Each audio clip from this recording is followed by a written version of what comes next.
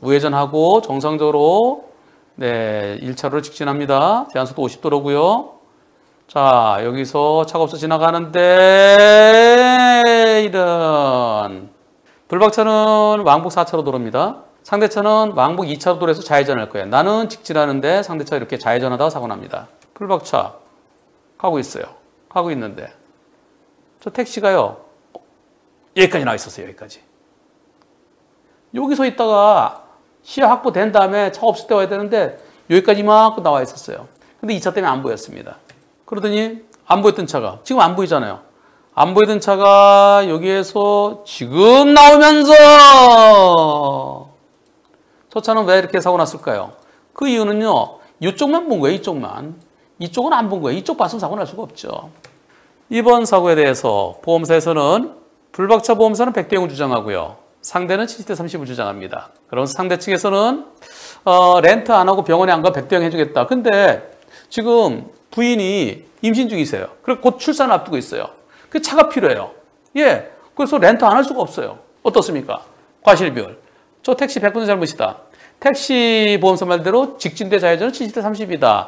아유, 저거는 저, 저, 전 70대 30 말도 안 되고, 불박차인데 10% 정도 있어 보인다. 그 차가 거의 뭐, 그 차 멈췄다 쑥 튀어나왔잖아. 정차 출발 개념도 있고, 안 보여서 튀어나왔으니까, 많으면 불박차 20% 될지 모르겠습니다. 라는 측면에서 3번이다. 1, 2, 3번 중에 여러분들은 몇 번을 선택하시겠습니까? 투표 시작.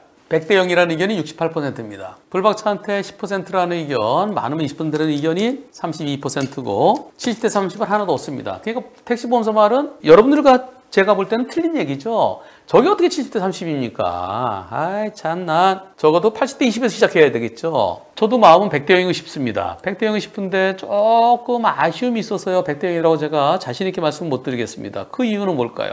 여기서요. 신호도 없는 교차로죠. 없는 교차로에서 요 차에 가려서 조금 전에 안 보이잖아요. 안 보이고 잠깐 혹시 시야 확보한다는 생각으로 속도를 줄였으면 이 차를 보고 빵 해줄 수 있었잖아요. 물론 과감한 판사만 100대 0할 수도 있습니다. 서로 안 보이면 좌회전차도 조심했어야지. 과연 100대 0일지 불박차한테도 일부 10% 많은 20% 있을지 소송과 달러 갔어요. 소송. 상대 7대 3, 우리 100대 0. 아, 그럼 법원에서 판단 맞죠. 분심이 가지 말고요. 분심이 뭐하러 가요? 저렇게 서로 100대 0이나 70대 30이나 다퉈질 때는 도대체 누구 말이 맞는지 곧바로 소송 가는 게 좋겠습니다. 나중에 결과 나오면 알려주십시오. 그런데 여러분들이요. 여러분들이 앞으로 이런 똑같은 상황이 되면은 우회전은 제 가려졌을 때요. 그때 내가 빠르게 가면은 여기서 빠르게 우회전은 차도 있을 수 있어요. 그럼 사고 날 가능성이 있습니다. 그래서 신호도 없는 교차로에서 내 시야가 가려졌을 때 시야 가려지는 건 주정차된 차도 있을 수 있고요. 이렇게 우회전한 차도 있을 수 있습니다.